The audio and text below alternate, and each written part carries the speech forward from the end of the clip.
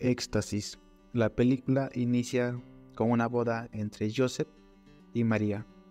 Ya estando en la iglesia se juran amar eternamente, juran estar en las buenas, en las malas, en la salud, en la enfermedad. Consuman el acto matrimonial. Pero lo que no sabía Joseph es que María fingía sus orgasmos. Y empezaron a tener problemas. Ya en el psicólogo, María le dice delante del psicólogo a Joseph que ella nunca tuvo un orgasmo. Eso le choca bastante a Joseph, se queda sorprendido porque ella jamás le había dicho tal cosa. Y Joseph no sabe cómo reaccionar. Le choca bastante, en casa también no sabe qué hacer, los días pasan, pero María le dice que a Joseph le ama y que de eso no dude. Pero Joseph se va de todos modos a su trabajo y en su trabajo encuentra a sus amigos espiando a un doctor y sus amigos le dicen que el doctor es un especialista en el sexo y que las mujeres entran y salen de su consultorio. Y le dicen que vea, pero Joseph dice que no y se retira. Ya en el carro, Joseph le dice a su amigo que le hable un poco más de ese doctor. Su amigo le responde diciendo que ese doctor tiene un implante. En la noche, Joseph y María deciden ir a una fiesta familiar, pero María no se siente bien, decide estar sola Joseph la encuentra queriendo hablar con ella, pero María se niega a hablar. Entre besos y besos deciden pasar un momento juntos. Al día siguiente, con el psicólogo, las cosas empeoran. Joseph explota de cólera y le saca en cara a María. ¿Por qué ella es así? Empiezan a tener problemas fuertes. María se va. Le deja a Joseph solo. Ya en su trabajo, Joseph recuerda la otra vez que sus amigos le habían dicho que mire por el telescopio al doctor. Decide hacerlos caso y lo hace. Empieza a mirar el consultorio. Pero para su sorpresa, y con lo que no se esperaba, es que María estaba entrando a ese lugar.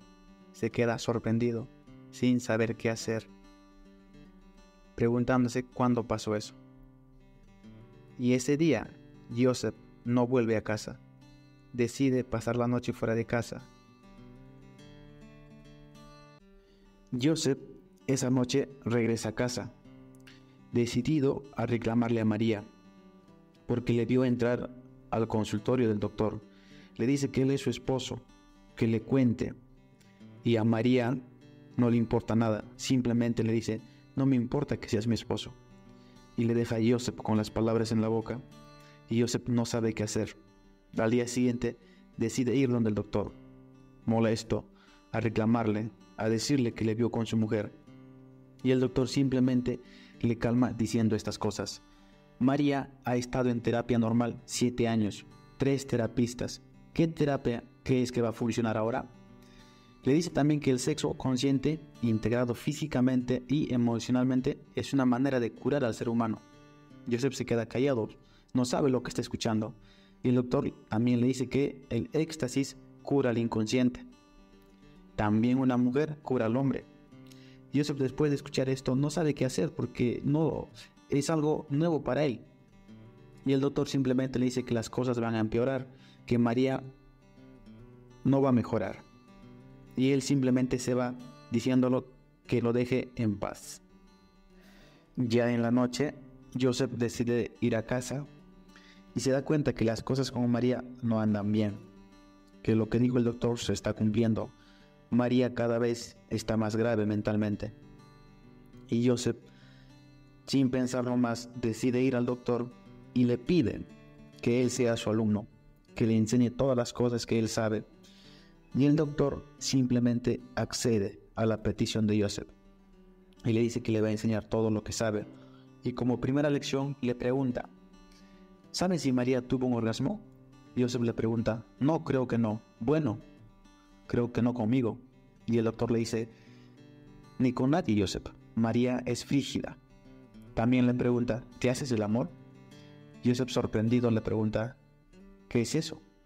Y el doctor le dice que si se masturba. Joseph le dice, no, no, eso no lo hago. El doctor también le dice que eso debe cambiar. Y le dice ¿Cómo le vas a hacer el amor a alguien si no te lo haces a ti mismo? ya como última sesión de clase, le dice que en la noche, con María en la cama, la abrace, le hable de cosas íntimas y que cuando duerman, lo abrace hacia el lado derecho de la cama. Y esa posición se llama la posición de crianza. Joseph decide pasar la noche con María y en su segunda sesión de clases el doctor le pregunta, ¿cómo te sientes con tu cuerpo? Y Joseph le responde, bien, bien creo. El doctor le dice, mira Joseph, cualquiera que no acepte su cuerpo totalmente jamás va a experimentar el éxtasis, ni podrá lograr que otro lo experimente.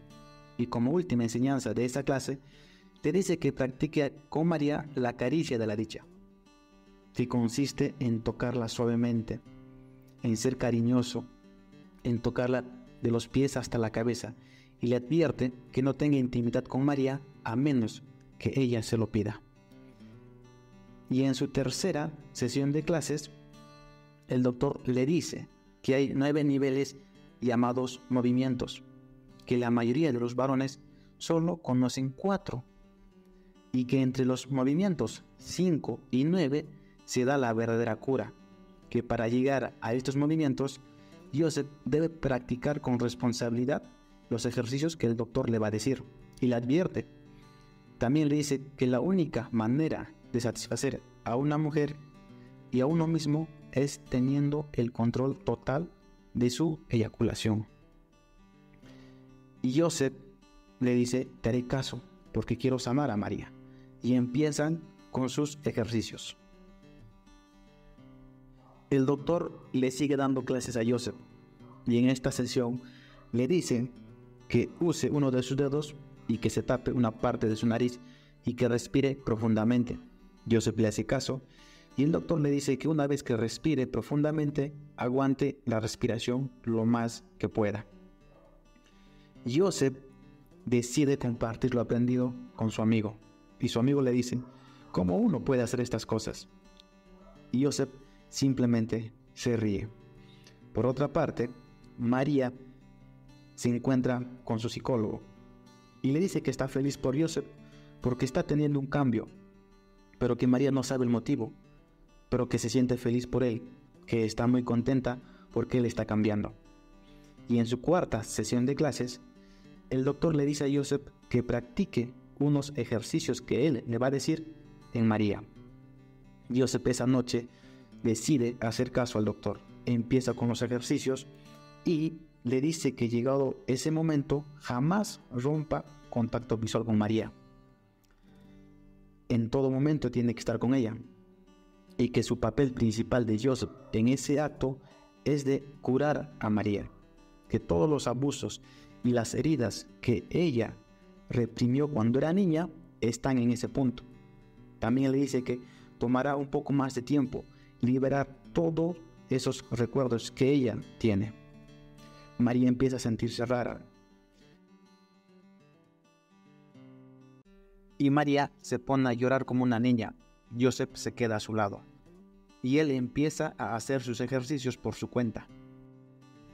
Al día siguiente, Joseph va donde el doctor y le dice, he estado haciendo mis ejercicios por mi cuenta y siento esa energía del que me hablaste.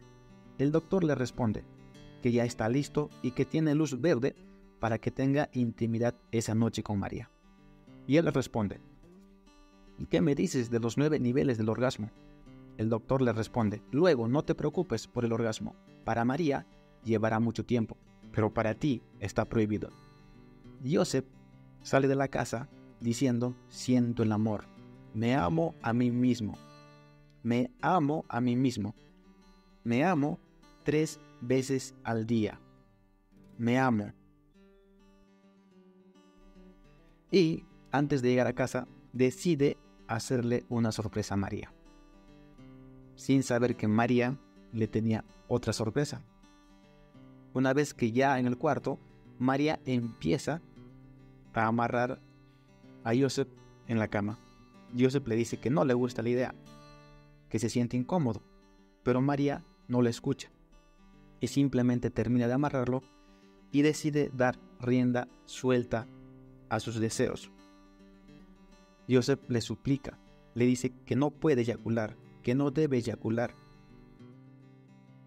Pero María le dice que le tenía tantas ganas que hace caso omiso y simplemente hace que Joseph eyacule. Después de lo ocurrido, Joseph decide ir al doctor y contarle lo que pasó. El doctor le da las últimas instrucciones a Joseph y le dice que tiene que hacer el amor con María.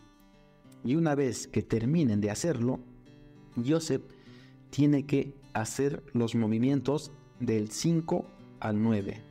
Y estos movimientos consiste en que Joseph tiene que agarrar a María de su cuello con la mano precisamente entre la cuarta y quinta vértebra cervical y que comience con los movimientos y que respire lentamente.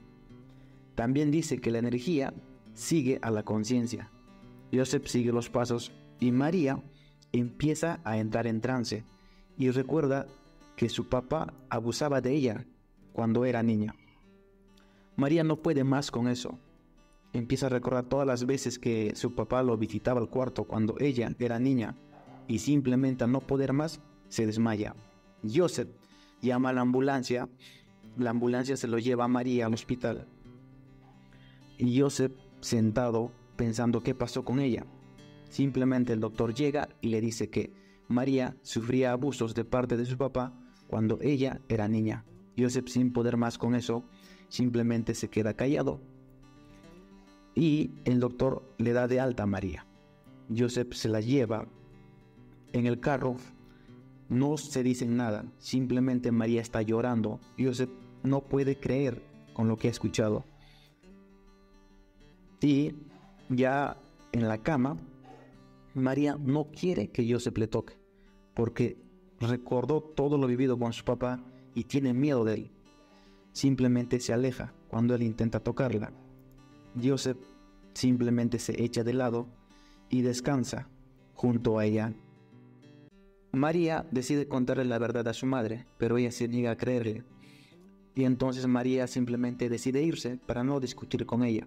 Ya en la noche, María le dice a Joseph que no está bien que compartan la casa mientras ella está en ese estado, que no se siente segura con él en la casa y que debería buscar un cuarto y que mientras eso pasara, María se quedaría a dormir en el cuarto de las visitas. Joseph se queda pensando y al día siguiente decide ir a buscar su cuarto y logra encontrar un lugar en donde se quedará los siguientes días. Ya en su cuarto establecido, Joseph piensa, ¿qué más puedo hacer para ayudar a María? Y al día siguiente, Joseph va donde el doctor y le dice, ¿qué más puedo hacer para ayudar a María? Y el doctor es bien tajante en su respuesta y le dice que nunca se trató de María, que él no ama a María, que siempre se trató de él y que quiere moldearla a su gusto, que quiere hacerla algo para él y solo le ha demostrado que haría cualquier cosa porque eso pasara. Y también le dice que su enfoque con María es una distracción de su propio miedo al abandono, su propio vacío, y termina diciendo, ¿Quieres ser el curandero? Primero cúrate a ti mismo. Joseph decide irse a su cuarto a descansar y mientras lo hacía recibe una llamada diciendo que se trata de María, que tendría que estar presente en un lugar en donde también María va a estar. Llegado el día, Joseph procede a ir a, dicho lugar y se encuentra con María. Y no solo con María, sino también con un grupo de personas en donde todos se ayudan a superar las traumas que tienen. María empieza y le dice, delante de todos a Joseph, que desde que era una bebé hasta los 10 años amaba a su padre más que a nada en el mundo. Y la primera vez que mi papá abusó de mí era cuando mi mamá salió de viaje. Yo tenía solo 5 años y mi papá me dijo que era un juego normal de papás y niñas. Y mi papá con frecuencia venía a mi cuarto por las noches y paró cuando tenía 12 años. Y le dice que su comportamiento que tenía era una forma de bloquear esos recuerdos. Y culmina diciendo, Joseph, tenía que enfrentar mi propio odio. Me das mucho miedo, pero es porque me hace sentir tan bien como lo hacía mi padre. Al día siguiente, Joseph decide ir una vez más donde el doctor y le cuenta lo que María hizo con él. El doctor le responde que solo hay dos salidas en casos como de María. Una es que algunas deciden vivir como víctimas toda su vida y la otra es lo que hizo María contigo. Te miró a la cara y enfrentó su miedo y te dijo la verdad. Y ese camino es del bueno. Y a Joseph regresa a su cuarto, en donde le ve a su vecino entrando a su cuarto y le dice, no es bueno para ti tener tantos orgasmos. Debes aprender a conservar tu jam y prolongar tu actividad sexual. Eso es bueno para ti y para tu esposa. El vecino, sin saber de lo que está hablando Joseph, solamente le dice gracias. En esta escena, Joseph camina en un parque mientras habla por teléfono y ve a María sentada en uno de los asientos. Simplemente decide acercarse y empiezan la conversación preguntándose cómo han estado. María le mira los ojos a Joseph y le dice, si de verdad me amaste, entenderás que necesitaba tiempo para separarte de mis abusos, pero que aún me sigo despertando cada mañana con todas las pesadillas, pero sabes qué, las enfrento. Joseph se queda callado y le responde diciendo, si me amas de verdad, déjame volver contigo. Se toman de la mano y de esa manera termina esta hermosa película que la verdad da mucho que aprender y también muchas cosas que nos hace reflexionar. Si te gustó el resumen del video, no olvides darme tu like, comentar y compartir. Nos vemos en otros videos.